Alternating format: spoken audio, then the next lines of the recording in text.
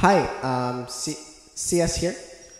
Um, so I went. I was going uh, to the the store the other, like the IKEA store, um, and I well actually it wasn't it wasn't the IKEA store. It was the like Chia store, like um, for the Chia pets.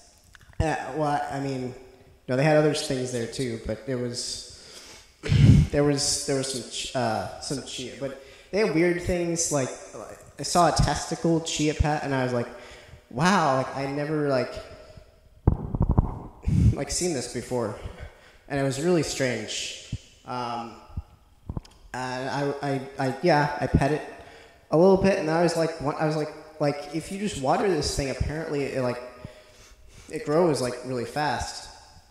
Um, and then I, I thought of all the times that I, I tried watering um, my testicles, and they didn't grow.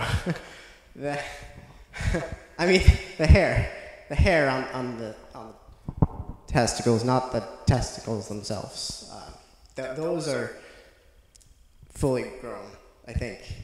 I don't know. Um, um, so yeah, that was my weird experience at IKEA. I mean, uh, Chia, at Chia, the Chia store. Thank you for uh, your time.